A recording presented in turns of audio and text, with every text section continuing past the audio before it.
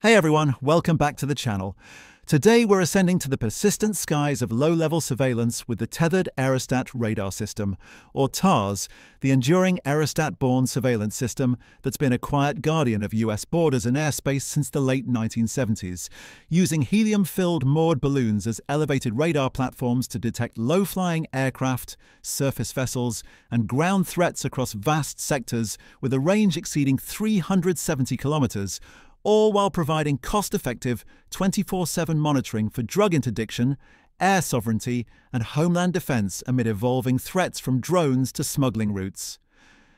If you're an aviation tech enthusiast, a border security analyst, or simply fascinated by the fusion of lighter than air engineering, phased array radars, and modular payloads that turns a simple blimp into a floating watchtower capable of scanning 200,000 square miles without a single pilot or fuel burn,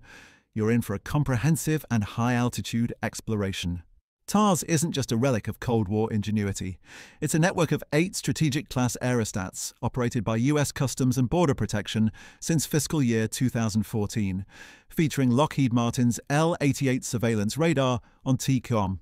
420k envelopes that hover at up to 15,000 feet, tethered by high-strength cables to ground winches for rapid ascent and descent, enabling seamless handoffs to fighters or interceptors while integrating with the Air and Marine Operations Center for fused tracks across North America.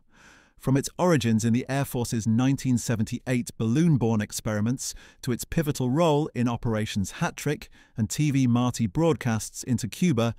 this system has evolved through interagency handoffs, from Coast Guard to DoD to CBP, incorporating gallium nitride electronics for enhanced jamming resistance and carbon composite reinforcements for wind tolerance up to 60 knots, making it a versatile asset for scenarios from Gulf of Mexico, narco flights to Caribbean migrant interdictions. We'll unpack its remarkable capabilities in exhaustive detail, provide a thorough technical overview grounded in the latest operational assessments from CBP and the Air Force's 84th Radar Evaluation Squadron, discuss its critical strategic role in U.S. layered defense and international partnerships, incorporate some intriguing fun facts to enrich the narrative, and conclude with the latest factual developments as of November 4, 2025, including recent optimizations and expansions in Puerto Rico. So, inflate the envelope, spool the winch, and let's rise to station keep for everything you need to know about the TARS Aerostat-borne surveillance system.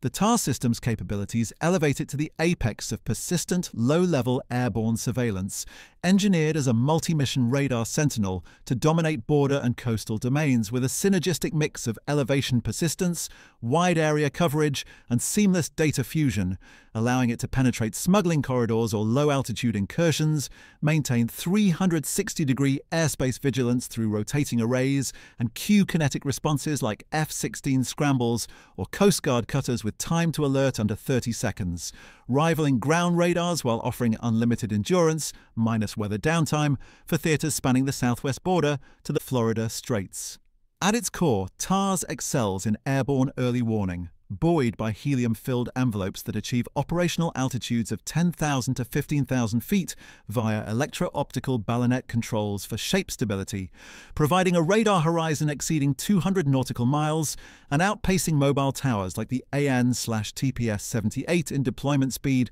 with ground handling crews raising platforms in under an hour, giving it the persistence to monitor sectors up to 200,000 square miles continuously. Its detection prowess stems from the Lockheed Martin L88 X-band radar, with gallium nitride transmit-receive modules scanning up to 370 kilometers for low observable targets like narco subs or ultralights, fused with an infrared search and track sensor for passive heat signature locks that cue without emissions, maintaining a low ground footprint through tethered nylon cables, rated for 2,000 pounds tension to withstand gusts up to 60 knots. For integrated ops, TARS feeds into the AMOX Air and Marine Operations Surveillance System, correlating with 700 sensor streams to track 50,000 aircraft simultaneously across the Americas, with a surveillance envelope extendable via networked sites, allowing handoffs from Yuma, Arizona to Key, Florida, for seamless coverage over the Gulf of Mexico or Caribbean approaches.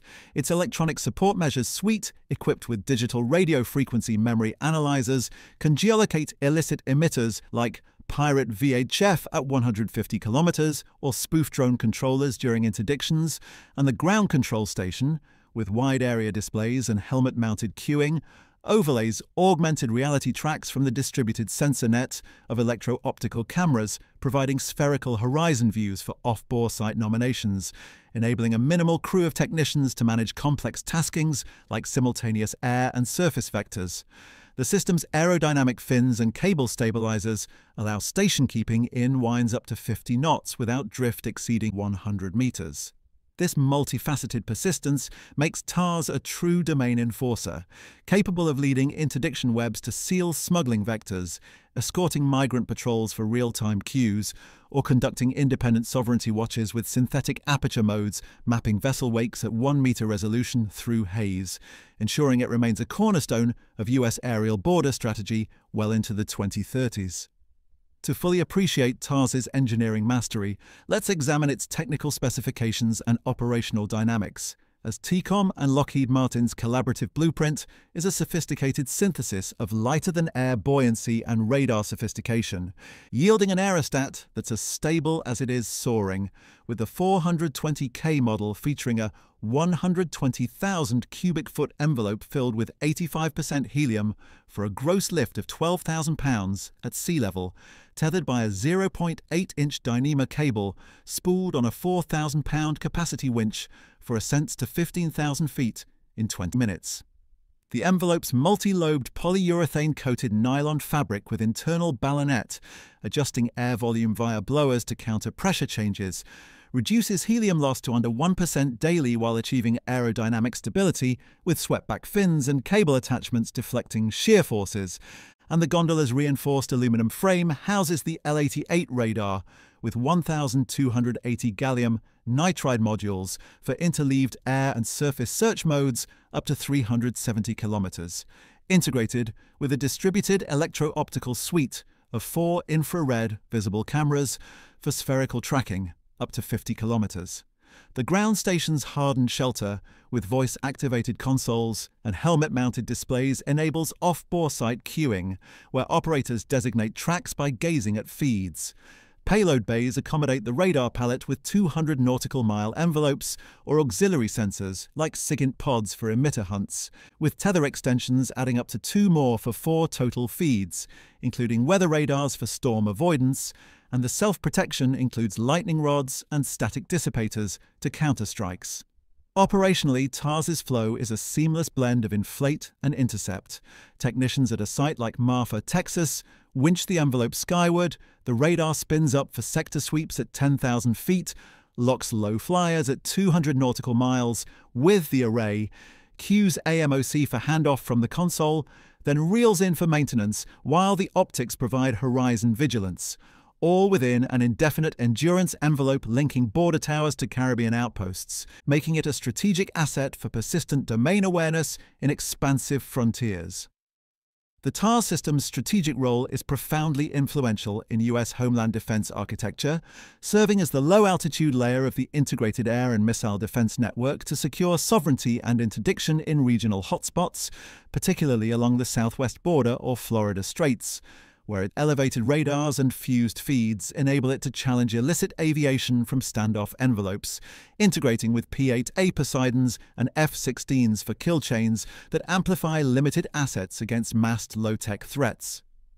As CBP sustains eight sites through fiscal 2025, it bolsters the Air and Marine Operations Centre's common operating picture, escorting Joint Interagency Task Force South for narco hunts, or coordinating with NORAD for continental air defence, while tactical spin offs like PTDS extend its reach to forward bases in Ukraine proxies. Fun fact one tar site at Cudjoe Key, Florida, doubles as a TV Marti transmitter, beaming US broadcasts into Cuba since 1993 for psychological ops.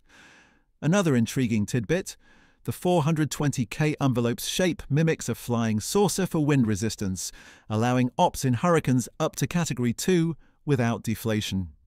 As of November 4, 2025, TARS continues to evolve with the 84th Radar Evaluation Squadron's recent optimization analysis delivered to CBP on October 29th, enhancing signal processing for drone detection amid rising border UAV incursions, building on the Puerto Rico site's relaunch in Lajas for Caribbean coverage.